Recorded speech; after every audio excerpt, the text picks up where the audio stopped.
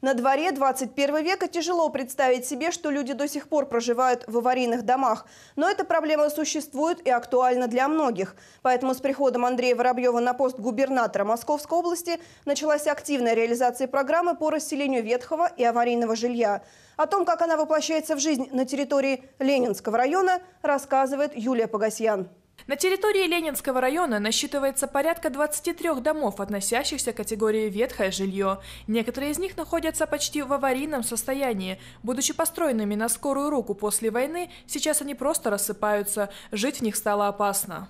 Покосившееся здание, на это смотреть страшно. Мало того, что жить. И люди уже не видят перспективы к улучшению. Но скоро все должно измениться. В конце прошлого года губернатор Московской области Андрей Воробьев дал поручение всем главам муниципалитетов разработать программу по расселению ветхого и аварийного жилья. У нас в районе решения проблемы видят следующим образом. Застройщики, приходя в район для получения собственной прибыли, должны четко понимать, что необходимо принимать участие в развитии поселений. Например, предоставлять квартиры для расселения. Сейчас застраивается около 600 тысяч квадратных метров домов, и лишь 2% от этой цифры поможет решить проблему. Второе решение – это развитие застроенной территории.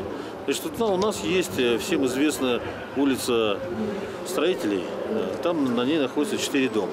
Действительно, дома уже в таком, ну, в достаточно ветхом состоянии. Люди жалуются, приходят ко мне. Значит, есть застройщики, которые видят и хотят, значит, на месте этих домов э, сломать их и построить здание, да, жилое здание с предоставлением жителям на проживающих в этих домах квартир. Значит, уже разработана проектная концепция этого дома.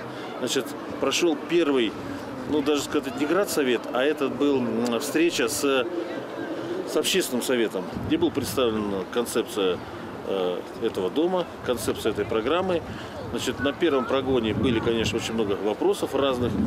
Договорились, что э, значит, застройщик проработает и мы где-нибудь еще через месяц соберемся и еще раз, второй раз сделаем прогон. А где люди будут жить, пока дом их разнесут, будут строить? Застройщик предлагает, значит, здесь у нас конкретно застройщик МФК видное, значит, они застраивают территорию рядом со зданием ГИБДД на Белокаменном шоссе.